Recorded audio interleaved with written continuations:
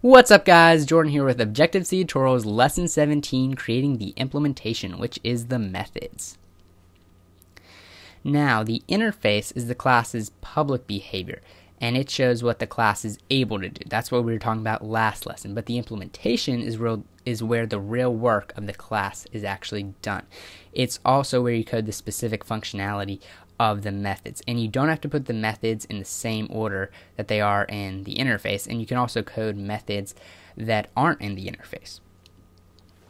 Now, um, first things when you start coding the implementation, you need to use those compiler directives like we used for the interface. So you put at implementation and says this is the beginning of the implementation. And then you put the name of the class that you are implementing from. In this case, budget.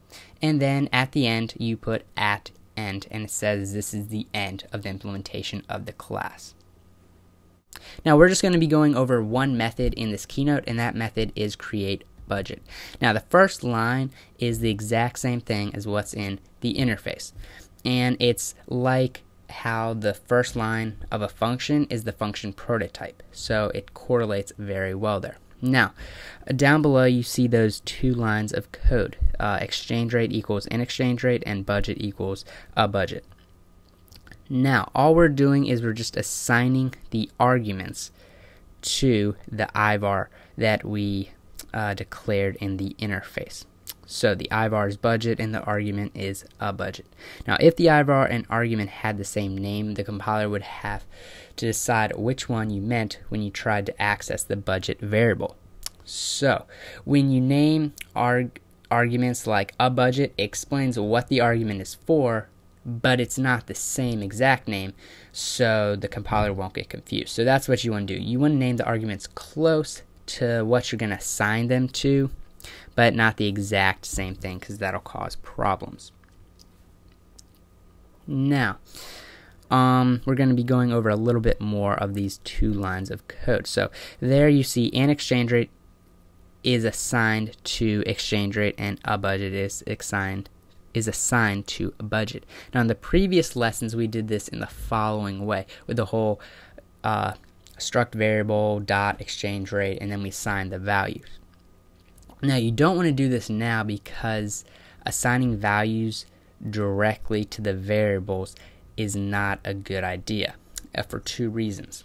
Because the IVARs are protected by default, so you wouldn't even be able to access them. And if you did, it violates encapsulation, and we'll go over that later for right now. But just remember, you don't want to assign values directly to the IVARs.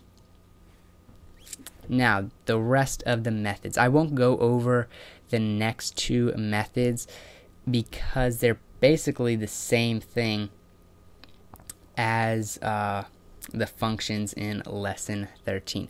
But we will move the NSLog into the methods so we can tell exactly when the methods are implemented now. So that's the only really different thing from uh, the functions in lesson 13. Otherwise, they're the exact same thing.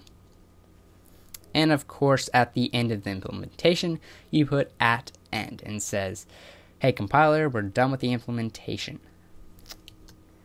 So now we're going to jump into Xcode and code up the implementation.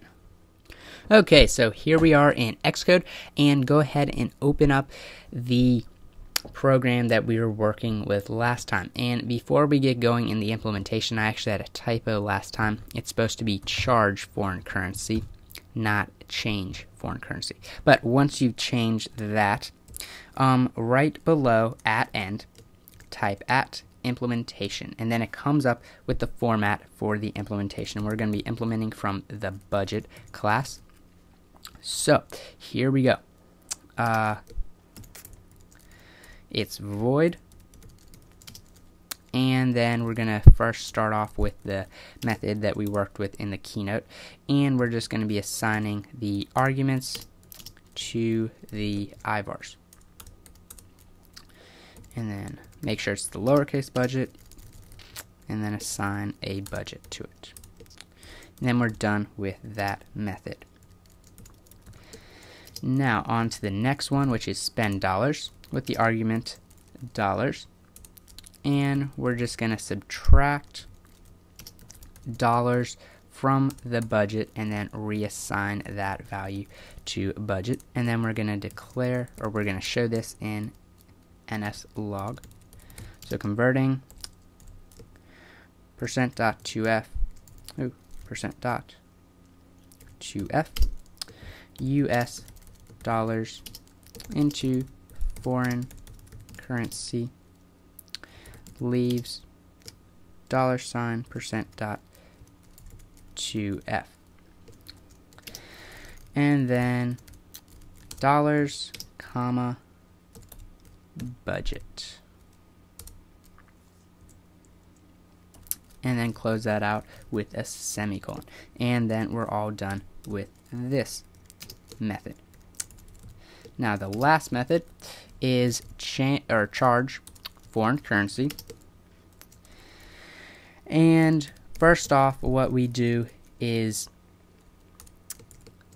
we assign, well, first off, we multiply foreign currency times the exchange rate, and then we assign it to the exchange transaction. And then we subtract this and then reassign the value to, we subtract it from uh, budget and then we reassign that value to budget. And then we display all this in NSLog. So this is exactly like what we've what we did uh, back in lesson 13.